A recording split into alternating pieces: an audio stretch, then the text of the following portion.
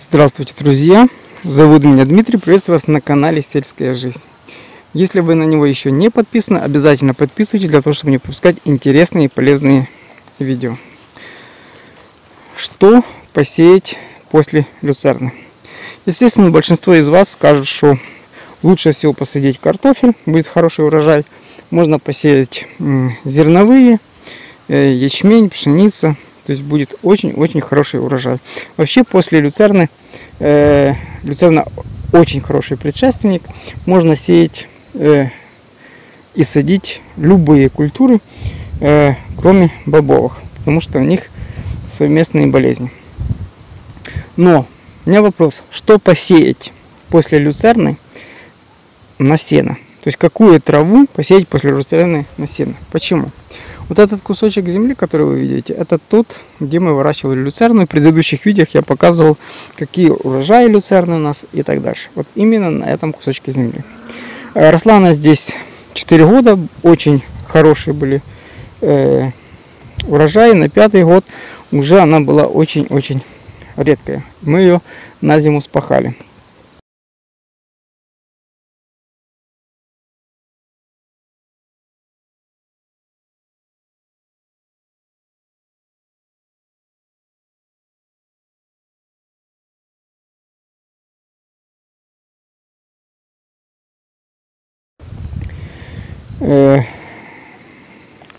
Весной мы здесь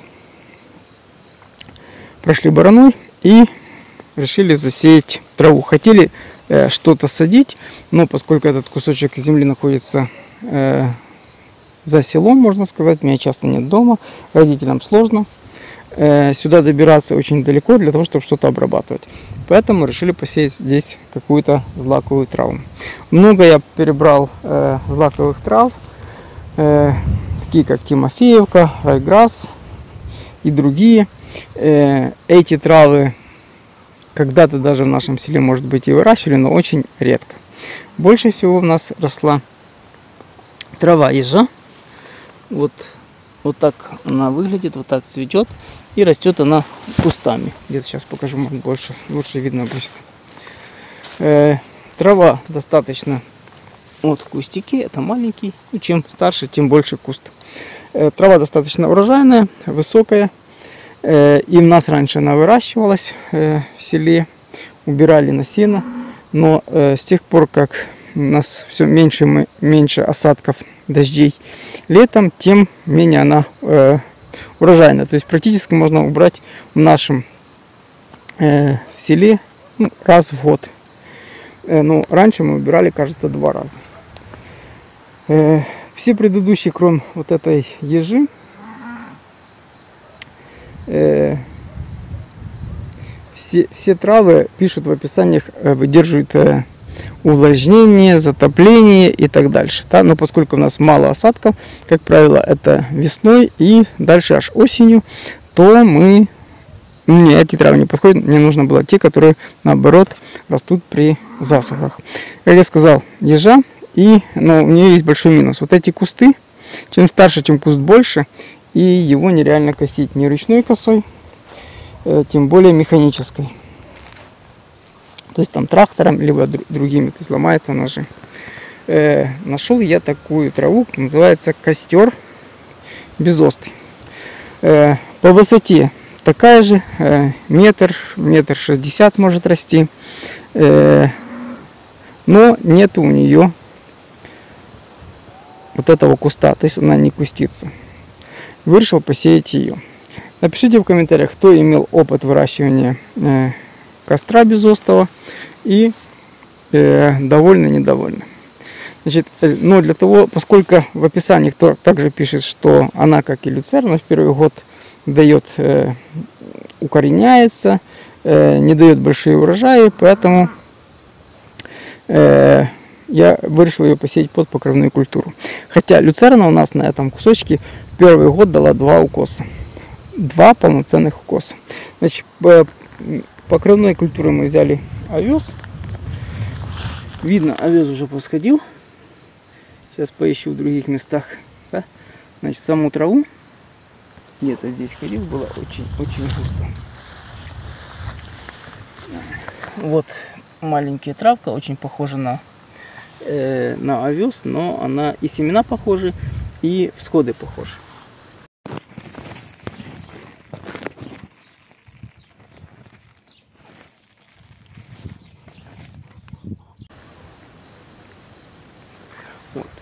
Э, но также я сюда добавил все, что у меня было. Я хотел, кстати, посеять э, вот этот костер вместе с козлятником, поскольку костер растет без удобрения 6-7 лет дает урожай, с удобрением 15-20. Приблизительные характеристики 15 лет растет э, козлятник. У меня уже есть опыт выращивания, но здесь земля намного лучше. Кстати, про козлятник сниму отдельное видео и расскажу, что нужно делать, чтобы больше урожай. Ну и есть ли смысл вам его сеять. Вот, э, но Значит, решил здесь посеять с козлятником, но у нас козлятник в этом году было сложно найти семена. Э, когда я сеял, нашел только 300 грамм. Вот буквально недавно отзвонились, что уже появились новые, новые семена, но уже сеять не надо. Поэтому я сюда добавил немного козлятников. Сходов еще козлятника не вижу. Ну, если сказать 300 грамм на 10 соток, то это можно сказать, что это ничто. Э, но, скорее всего, что я провел плохо скарификацию, и основные всходы козлятника появятся в следующем году после морозов. У меня было где-то полкило э, э, вики, вот, добавил. Не выбрасывать же семена, надо где-то растить. И э, сеял э, люцерну на другом кусочке, сниму отдельное видео, покажу. И добавил сюда чуть-чуть люцерны. Как я уже говорил, люцерна после люцерны плохо, но в надежде на то, что первый год сейчас э, активно будет расти овес, и все и овес уберет э, то, что плохо для люцерны. Здесь росла люцерна, как я говорил э, перед тем, да, и каждое растение выделяет свою жизнедеятельность, и оно как бы само растение после себя сеять ну, не очень хорошо. Но в надеждах то, что овес уберет, нейтрализует э, эти выделения люцерны. Ну, так может быть грубо немножко, но я думаю, что вы поняли, что я хотел сказать. И дальше немножко будет расти люцерна. Люцерны здесь также немного, но см смотрю, что в некоторых местах очень даже обильно повсходило. Молодая люцерна а это видно с корней прошлого года повсходил. Вот такие мои мысли на сегодняшний день. Что вырастет, как будет расти, буду показывать дальше. Вот видим, вот маленькие травки, видите? То есть очень похоже на вот это толстый овес, а вон маленький. Вот трава, костер. Как будет расти, все это буду показывать. И э, скажу потом, есть ли смысл сеять эту траву или нет. У кого из вас уже есть опыт э, сеяния, выращивания костра безостова, э, кто собирал на сено, кто доволен, кто недоволен, э, в кого какие условия выращивания, пишите в комментариях. Мне будет очень-очень интересно знать ваш опыт.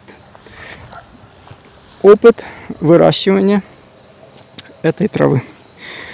Ну, кто не подписан, подписывайтесь и пишите в комментариях о своем опыте. Жду ваших, ваших ответов. До встречи в следующих видео.